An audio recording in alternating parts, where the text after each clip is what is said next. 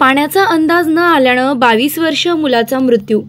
काल दिनांक सहा ऑगस्ट रोजी सायंकाळी साडेसहा वाजण्याच्या सुमारास गणपती मंदिराजवळ गणपतीपाडा इंदिरानगर तुर्भे नवी मुंबई या ठिकाणी बावीस वर्षीय हिमांशू म्हात्रे खदानी मध्या पोहण्यासाठी गेला होता.